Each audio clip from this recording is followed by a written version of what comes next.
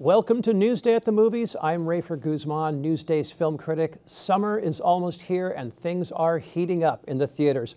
Let's start our summer movie preview with Guardians of the Galaxy Volume 3. Are you ready for one last ride? Marvel's misfit superheroes are back for their third movie. The gang is all here. Chris Pratt as Peter Quill, Bradley Cooper as Rocket Raccoon, and yes, Zoe Saldana as Gamora.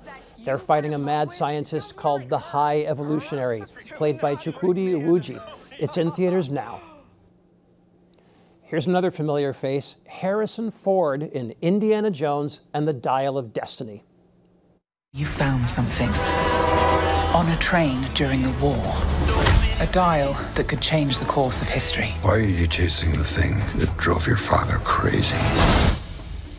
This is the fifth and probably last time for Ford to play the famous archaeologist. Would you believe he's 80 years old? His co star is Phoebe Waller Bridge from Fleabag. The director is not Steven Spielberg, it's James Mangold. Indiana Jones and the Dial of Destiny hits theaters June 30th. Next up is Mission Impossible Dead Reckoning Part 1.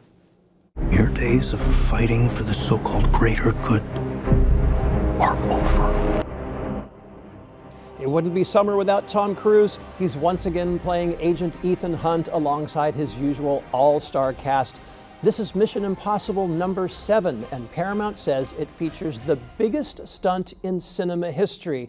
We'll see about that when Dead Reckoning hits theaters July 12th.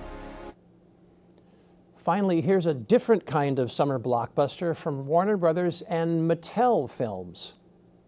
Hi, Barbie. Hi, Barbie. Hi, Barbie. Hi, Barbie. Hi, Barbie. Ugh. Hi, Ken. Hi, Ken. The movie is Barbie, and Margot Robbie plays the glamorous doll who made her debut back in 1959. Ryan Gosling plays Ken, Greta Gerwig is the director, and this will be Barbie's very first live action film. It comes out July 21st. It really does feel like the movies are back. By August, we should have 10 or even 12 major hits and a couple reaching for that billion dollar mark. After three years of the pandemic, this could be an exciting summer.